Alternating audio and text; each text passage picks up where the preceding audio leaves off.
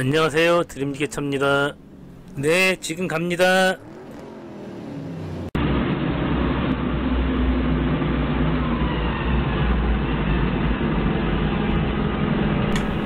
꽃마차를 내리러 갑니다. 막 달려야 될 꽃마차가 어디에 가 있길래 내리러 갈까요?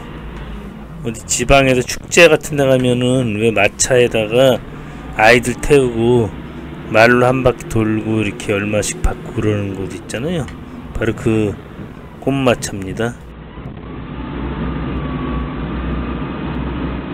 근데 이 꽃마차가 장식을 많이 해놔갖고선 지게차로 내리기 굉장히 불편해요.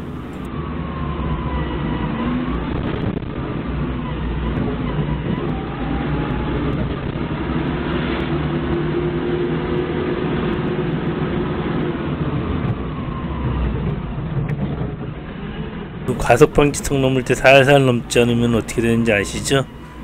머리통 빵꾸 나요. 살살 넘어가야 돼요.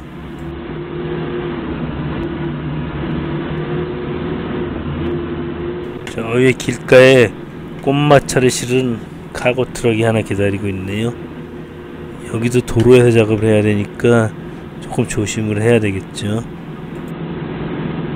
차량의 통행량이 그렇게 많지는 않은 곳인데요.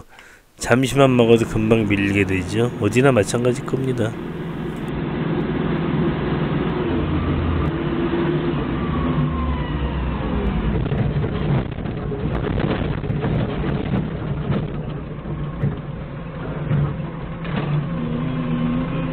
일단 지게차를 한쪽에 세워놓고선 꽃마차 어디를 떠야 될지를 그 하주분에게 물어봐야 됩니다. 꼭 물어보셔야 돼요. 이게 지금 10년째 제가 이 집 계속 이 작업을 해주고 있어요. 꽃마차를 싣고 내리고요. 근데 갈 때마다 이 지게발이 틀려져요. 그리고 어딜 떠야 될지를 항상 물어봐야 돼요. 희한해요, 이거는. 왜 맨날 틀려지는지. 아마도 이게 이제 철수해 갖고 들어오면은 이 축사에 요거 꽃마차 보관하는 곳이 있는데 거기서 이제 유지보수를 할 거 아닙니까? 그리고 새로운 장식도 하고 그러다 보면 중심점이 조금씩 틀려지는 것 같기도 하고 그래요. 그리고 지금 마차의 모양이 추레라처럼 뒤쪽에 일정 부분 사람 타는 곳이 있고 앞쪽 그 핸들 부분이 있어요. 그 바퀴도 또 크기 때문에 지게발을 넣을 때가 그렇게 마땅치가 않아요. 이 꽃마차도 지금 그 우리 그 페이로다나 추레라처럼 허리 꺾임이에요. 허리 꺾임.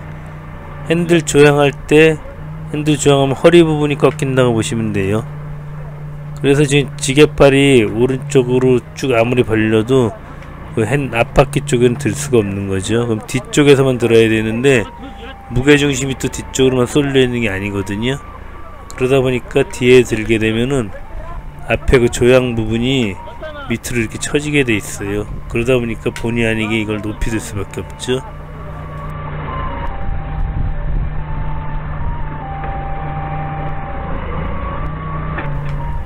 길에 밀려있는 차들 때문에 약간 마음이 조급하기는 하지만 그래도 불과 뭐 몇 분 차이 아니니까 신중하게 하차를 합니다.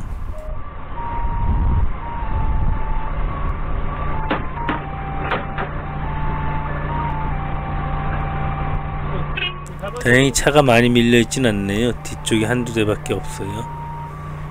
일단 그리고 요거 요 마차는 이 정도면 뜨기 좋은 거예요. 지금 발 넣기도 참 좋잖아요. 이 정도면은요. 이 마차는 상하차다 보면은 이 지게발이 안 맞으면은 그 옆에 장식해 놓은 부분이 조금 파손될 때도 가끔 있어요. 이 자체 뼈대는 굉장히 단단해요. 그나마 그래도 사람이 타고 다니는 거기 때문에 그렇게 허술하게 만들어진 건 아닙니다. 뼈대는 굉장히 단단해요. 어차피 장식은 여기서 다시 유지보수를 하기 때문에 신경을 쓰더라도 그렇게 뭐 크게 신경을 쓰진 않아도 된다는 얘기죠.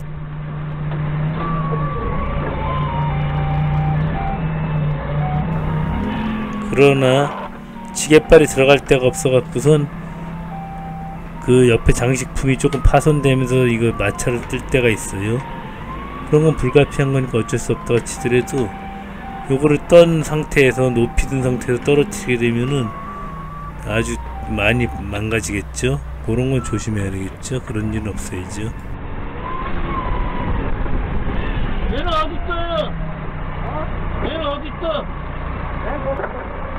네? 앞에. 아니 못 들어. 여기 여기 여기 요 사이? 그래. 여기다 여기. 이제 두 번째 마차는 조금 까다로운데요.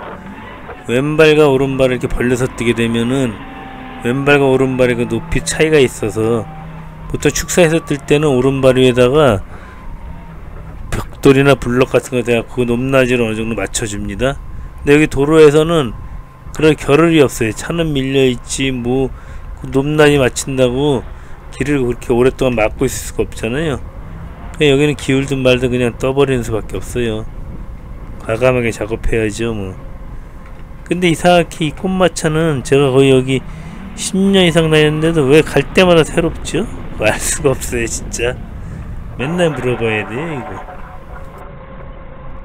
물론 그걸 물어보는 데는 어떤 그 책임이 누가 질 것이나 그게 포함이 되어 있는 겁니다. 분명히 지금 꽃마차 사장님이 계시기 때문에 이분한테 저는 물어봐서 뜨는 거예요. 그랬을 때 그게 조금 파손이 되더라도 제 책임이 많이 줄어들겠죠. 근데 사장님 안 계실 때가 있어요 화물차 사장님하고 저하고 내릴 때가 있는데 이때는 제가 정말 신중을 기해서 내립니다. 이거 옆에 장식품 하나 안 떨어뜨리려고 굉장히 조심을 해요. 그리고 이렇게 머리 쓰고 저렇게 머리 쓰다 보니까 이게 갈 때마다 이게 작업할 때 쉽지 않다고 느끼는 것 같아요. 어쨌든 지금 첫 시도로 뜨라는 곳에 뜨니까 너무 오른쪽으로 기우는 거예요. 이렇게 계속 뜨게 되면 앞으로 쏟아져요 결국에는 오른발을 좀 벌려갖고 이 높낮이가 틀리더라도 기울더라도 그때는 쏟아지지 않거든요. 발을 넓게 벌리면은. 발을 넓게 벌려갖고 그냥 뜹니다. 이럴 때는. 원래 그 축사에서 뜰 때는 오른쪽 발에다가 높이를 맞춰줘요. 그리고 이 마차도 이 두 가지가 아니고 몇 가지 종류가 있어요. 그래서 뜨는 게 그때마다 다 틀린 거죠. 어떤 경우에는 이분들 그 1톤 차에 출애라 뒤에 달아갖고선 그 본인들 차로 그냥 옮겨올 때도 있어요. 지게차 안 부르고.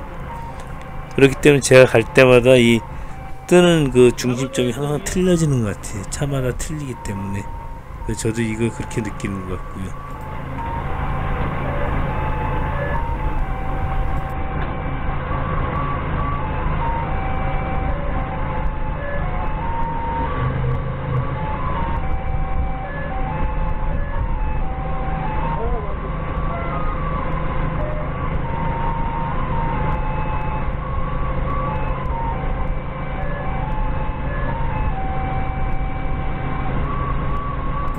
지금 오른발에 높낮이를 안 맞춰줬을 때는요 오른쪽으로 이 앞에 쪽이 기울기 때문에 누군가하고 앞에 핸들을 잡아주는 게 안전하겠죠? 일단 떠서 가장 가까운 그 도로에 내려놓습니다. 이게 사람이 끌기 쉬워요. 말이 끄는 마차지만 사람이 끌 수도 있을 정도예요. 물론 무게는 많이 나가는데 바퀴가 크고 가볍다 보니까 사람 힘으로도 잘 끌리더라고요 이렇게 해서 일단 지게차 작업은 다 끝났네요. 저거 저도 저렇게 내려놓은 거 한번 굴려봤는데요. 사람 둘이 끌면은 금방 끌려가요. 이 바닥이 또 좋잖아요. 잘 굴러갑니다 아주. 말들이 이 마차를 끌면서 힘을 최소한으로 들일 수 있도록 그렇게 만들어낸 마차겠죠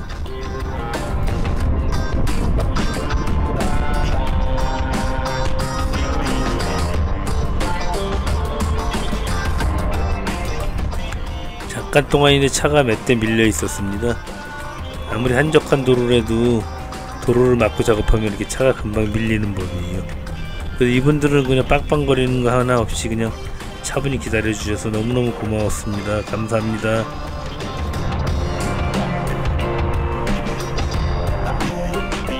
갈 때마다 지게발을 어디다 넣어야 될지 물어봐야 되는 아주 마술 같은 꽃마차였습니다.